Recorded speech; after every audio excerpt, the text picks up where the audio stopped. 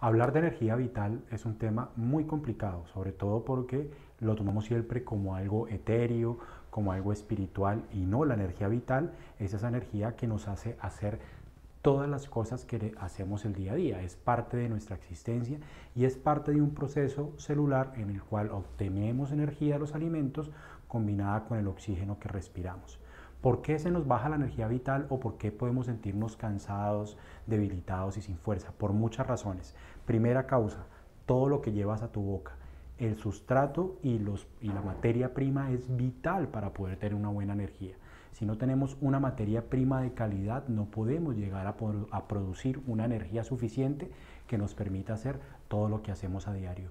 Dos, hay que respirar muy bien. Si no respiramos bien, no vamos a poder carburar esos nutrientes y hacer que produzcamos la energía de calidad que necesitamos para el día a día. Y tres, depende de lo que hagamos todos los días. Hay mucha gente que dice, no, yo cuando prefiero no hacer ejercicio porque tengo muchas cosas que hacer y eso me desgasta mucho y me quema mucha energía.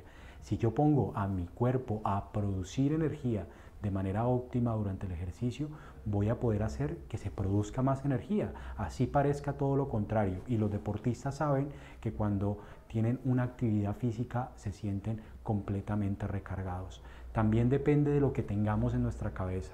Si hacemos una vida tranquila, no nos dejamos llevar del estrés, de la ansiedad, de las preocupaciones, pues vamos a tener el descanso suficiente para recuperar energía y para poder estar bien.